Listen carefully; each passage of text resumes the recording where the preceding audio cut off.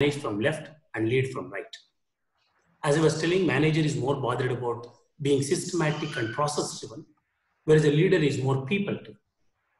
Normally, a manager tries to fit the person to the job, whereas a leader tries to fit the job to the person because he is more people centric.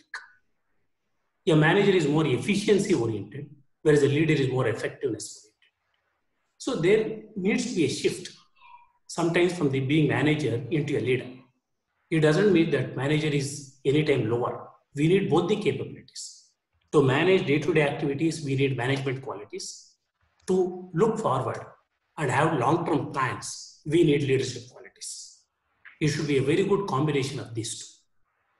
I always say in my programs, clarity in mind and purity in heart is the surety for success.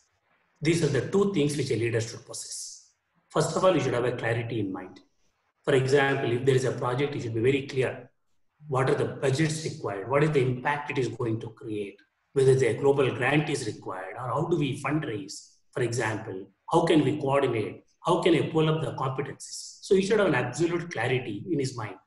But that is not enough. Purity in heart, the intentions have to be very sublime. For example, many of the criminals have very great clarity in mind, but what they lack is the purity of heart. If the purity of heart is there, but clarity in mind is not there, what happens? He becomes a good person, but not a great leader. Being good is not good enough. You need to eh, influence people to get the job done so that we can move towards the common shared goal. So these are the two very important things which a leader needs to undertake. He should be very clear in his mind and he should be very good in the heart. Coming to other leadership qualities. Basically, leadership is the ability to spot opportunities and to see directions. What others can't see, you'll be able to see. And even in the worst possible situation, you'll be able to see an opportunity.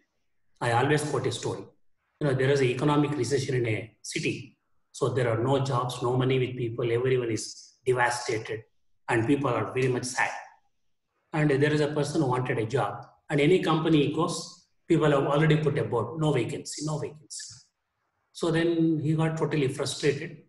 But within about three months, he became a very rich person in the same place because he set up a company which writes the boards as no vacancy because that has the maximum demand. So where others are facing tremendous problems, this fellow will find a solution. He will find an opportunity. What the members cannot see, a leader will be able to see. And we should be able to pull up what is the job of a leader? Basically, a leader is a person who puts people together towards a goal. He should be able to put up the core competencies of people. Because God has not given the same talents to all of us.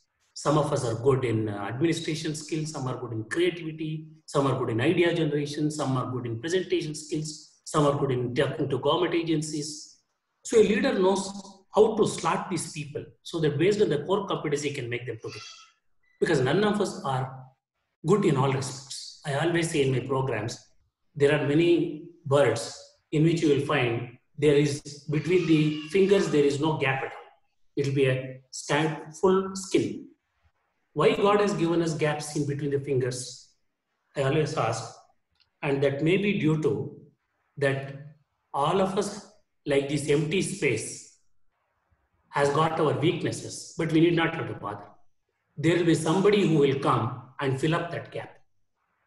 My weakness is somebody else's strength. And that is the beauty of a leader. The leader knows to this hand where there is a weakness, where is that fellow who is having a strength who can come and fit it. That is the job of a leader.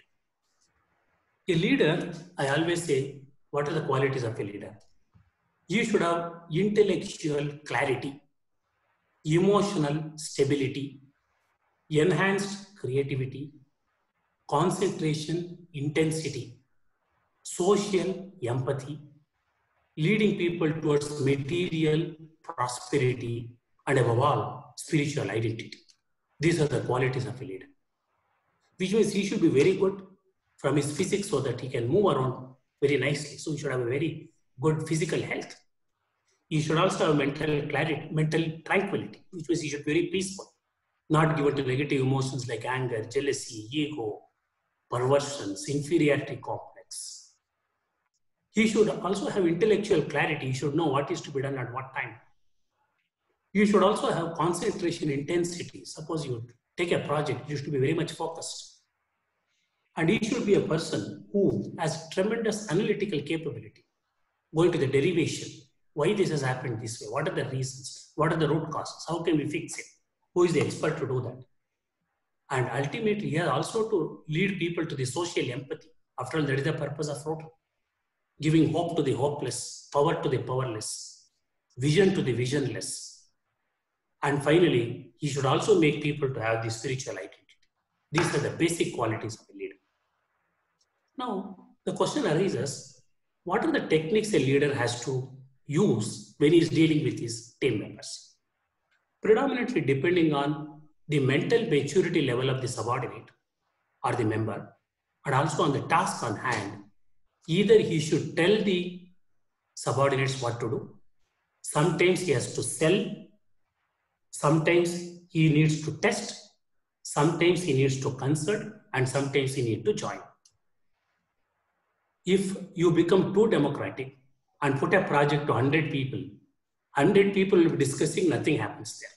So leader has to put his foot down that this is how we are going to do it. Just tell. Sometimes you need to sell your idea. Just telling will not help. People will rebel against you. They may sabotage. So you need to sell. You should tell this is what I want to do because this is the logic behind it. This is called selling. Sometimes you need to test because you are not sure whether what you are doing is right. So you need to tell this is what I want to do what is the opinion of the remaining members? Sometimes you need to consult. That means you just give the problem and consult people, brainstorm, and let them come out with the issues. You coordinate and articulate, come out with a solution. Sometimes you just need to join, which only means you say, whatever the team members do is agreeable. So you will find under these five, that is tell, sell, test, consult, and join. As you go down, the authority of the leader keeps on diminishing and the freedom to the subordinates keeps on increasing. When it is a tell, the leader only tells. You just listen to them, That's all. There's no freedom for the subordinate. Now, at the other end of the continuum, you have join where the people will decide what is to be done. Leader has no say in that. Now, the problem with social organizations are some of the challenges, unlike the professional organizations where a leader has an authority. See, if somebody is not doing the job, we can exercise that authority. In social organizations, we don't have the authority. We need to work with people, take them into confidence, empathize with their difficulties, allow them to manage other affairs. And that is where the leadership in a social organization is much more complex and much more difficult than in a professional structured organization. I always say, how, how does a leader change people? There will always be noisemakers, mischievous people, the people who are inert, who are not interested. I say BRTP is what a leader should follow. B is belief. A leader should believe that he can change the situation and people. Because if you don't have the basic belief, then you will never be able to start.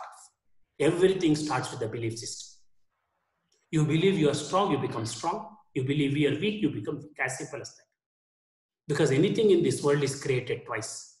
First in your mind, then physically. Now, just belief is not enough. You should take personal responsibility to do that. That I call it as R. Take responsibility. Now, just having a belief that I will undertake this project, just taking responsibility now is not enough. You should know the right techniques to change. That's called T. Suppose you are very fat, and you want to become lean, you believe that you can become lean. You take responsibility also. But unless you know how to become lean by food control or by physical exercises, how will you become lean? So you need to know the techniques. That is, B is belief, R is responsibility, T is technique. But this is not possible unless you have P, and P is patience. Anything takes time. This world is actually, we need to develop patience.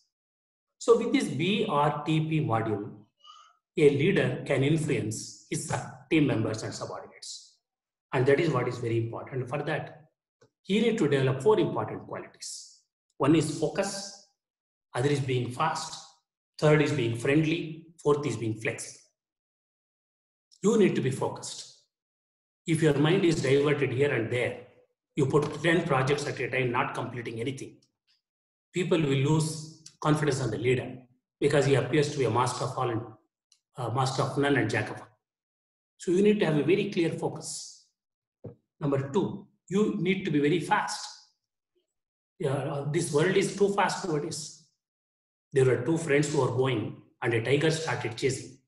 So one of the persons started putting sports shoe because if you put sports shoe, you can run. The other fellow says, look man, whichever sports shoe you put, you can't run faster than the tiger. For that, this fellow is putting the sports shoe says, look man, I need not run faster than the tiger. If I run faster than you, that is good enough. Because if this fellow runs faster than the other fellow, the tiger will catch the fellow who is slow. So a leader needs to be very fast. He needs to make others also fast. Number three, he should be very friendly. You cannot dictate terms. You need to have empathy. I think the earlier sir was also telling about empathy. Empathy is the ability to put yourself in others' position and look things from their frame of reference. And for that, you need to annihilate your ego. After all, what is this ego? E-G-O, edge guard out. The guard will go out of you if you develop ego. So you need to be friendly with people. Above all, you should be very flexible. You can't afford to be rigid. In fact, anybody who is flexible will be better than a person who is not flexible. I was told the first person who wanted to climb Mount Everest at long back, maybe a few hundreds years back, climbed Mount Everest. But at that time, there was no technological advancement. There was no equipments and all. So he fell down. And because there was no contingency plan. So he's bleeding, and the Mount Everest looks at him and says, Look, I am a few tens of thousands of feet high, whereas you human beings are not even six feet tall. And what arrogance and audacity you fellows have that you want to walk above me and conquer me. Look at your fate now, you are bleeding to death. Now, this human being was about to die, told the Mount Everest, My dear Mount Everest, anyway, I'm going to die. That is not the end of the story. Some other human being will come, and one day he will climb and conquer you and put the flag. Mount Everest says, My God, even at the death time, you have such audacity. What gives you such audacity, such arrogance? He says, Very simple. My dear Mount Everest, you never change, but we change. People change, mountains do not change. That's why we are able to conquer mountains. Water and rock. Definitely, water is more valuable than the rock. Water is becoming so scarce, but rocks are available everywhere, stones. Why? Suppose there's a stone and the water is moving, the rock is not flexible to go to the side. Only water goes to the side. Because the water is flexible, it is more valuable. So it's very simple. Anybody who is flexible will rule over the person who is rigid. You need to be flexible. For example, in my Rotary, I don't know, this may be my 150th program I'm doing for Rotary. I lost count of how many I've done.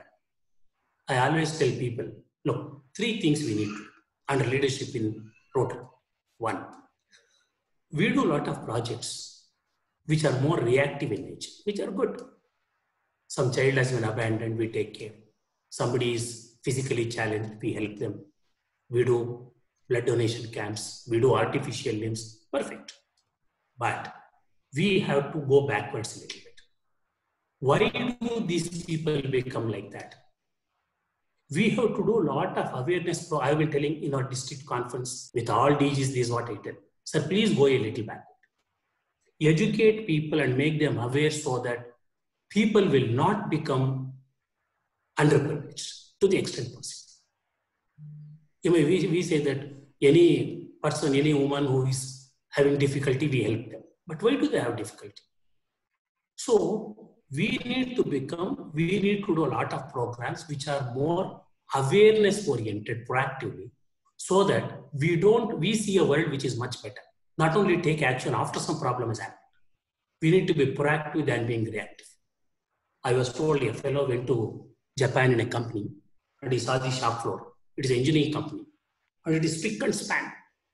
This fellow, this fellow asked, look, My God, how do you keep the shop floor so clean, man? That fellow, that worker told is very simple. We never make it dirty. If we don't make it dirty, where is the need to clean? So if we can increase the value systems in the people, wherein each one works with lot of empathy, lot of care and concern, you will find that the uh, number of activities and interventions what we are doing to solve the problem after the problem is erupted can come. First point.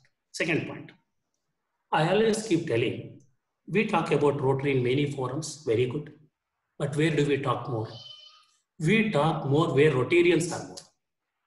Either it's a RYLA or it's a RG, the district conference, or it's ICGF, or this one, which is very good. So I told them that look, please talk to people who are non-Rotarians. Catch hold of such meetings where thousands, ten thousands people meet. Take five minutes, 10 minutes time and introduce Rotary.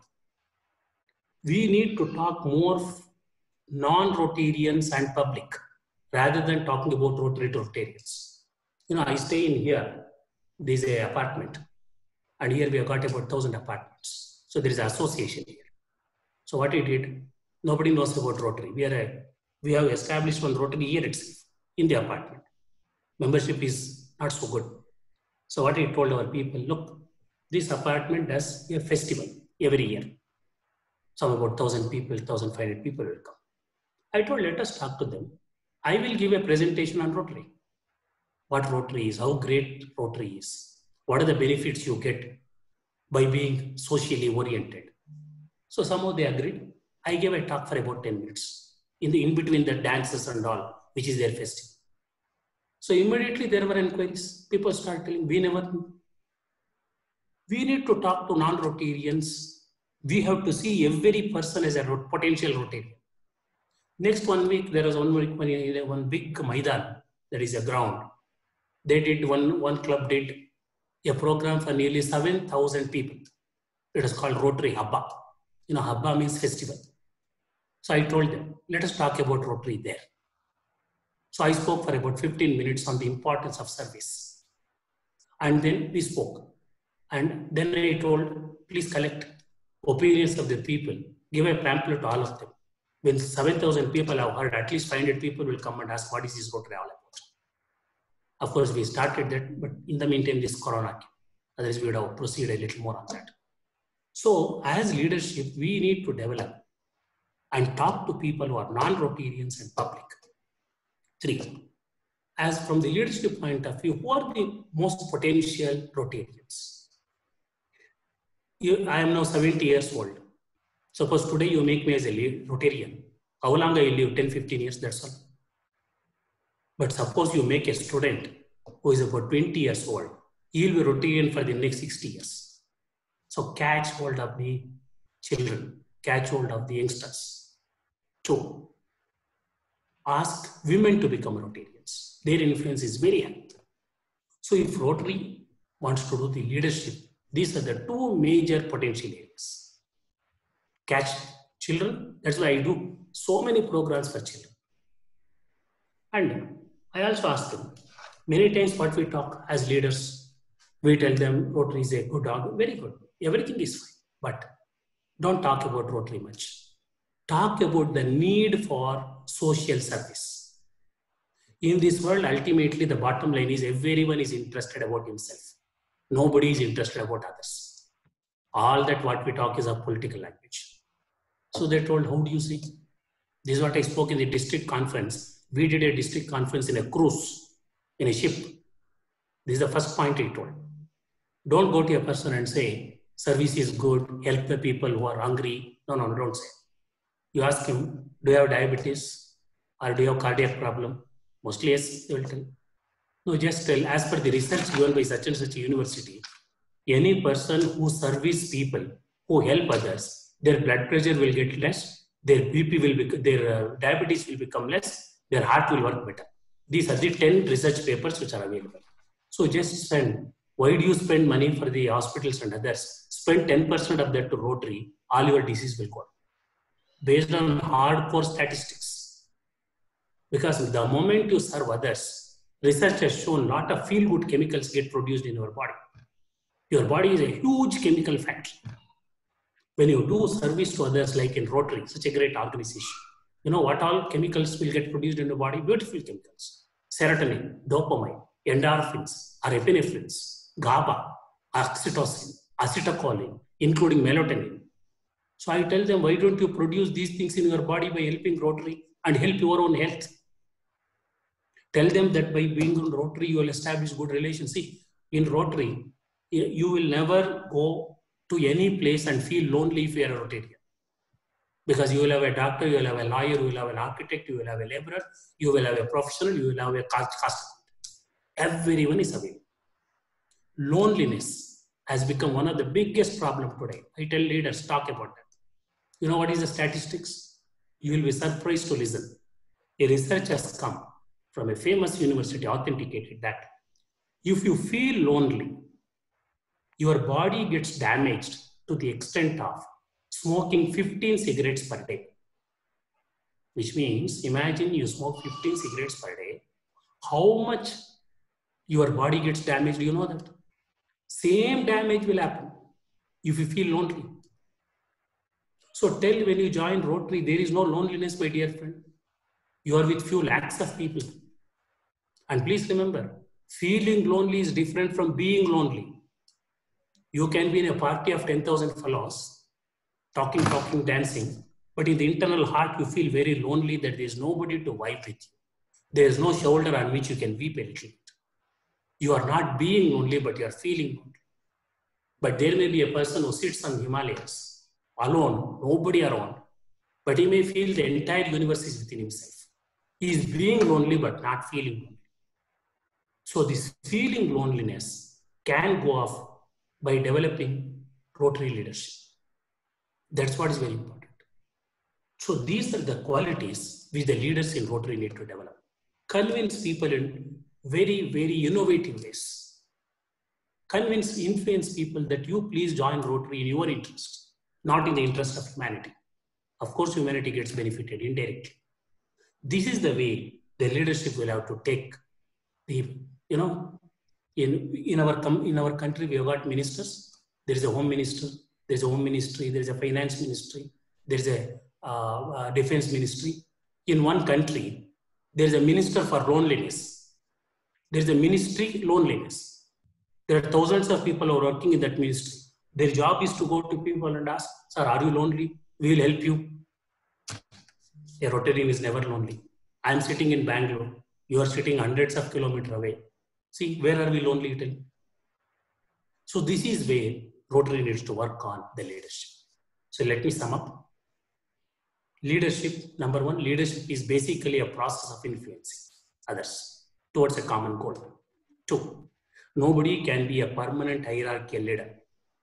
The person who influences is the leader. The person who got influenced is the follower.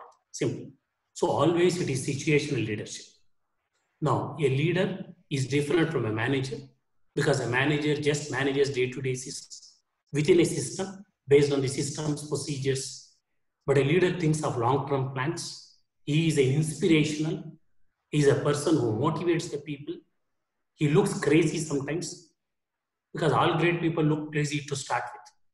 Not because they were mad, but because they were ahead of the generations. The generation understood how far away he is from the present generation. And a leader has to develop four focus, fastness, friendliness, and flexibility. A leader has to decide what should be the strategy he should develop when it meets to the subordinates or members. Sometimes he has to tell, he has to sell, or he has to test, he has to consult, sometimes he needs to join. And to motivate the members, what he needs to do? BRTP. Have belief that a person can be motivated. motivated. Take personal responsibility know the techniques of motivating and be patient enough. Nothing is immediate, nothing happens overnight. And what is that leader should develop? Clarity in mind and purity in heart is the surety for success. Tremendous activity outside and total tranquility inside is the passport for prosperity inside. And what is the checklist for a leader? Intellectual clarity, emotional stability, concentration intensity, enhanced creativity, social empathy, material prosperity, and above all, spiritual identity. If we can uh, get into all these things, we will be much better leaders. And two important things, my always I have been talking is take these two potential areas, students and women. Rotary will grow 10 times. And ensure that we talk to non-Rotarians in public more than talking about Rotary to. This is the gamut of the leadership. With this, I, uh, because otherwise, if I talk too much, initially people will listen more out of interest on the speaker or some respect to the topic. But if I speak for a long time, you will listen more out of sympathy towards me. Anyway, he's enjoying himself. Why to trouble him? To ensure it does not. This is the third webinar I am doing today. I had two webinars in the morning. Nearly 1,000 people I spoke for the students.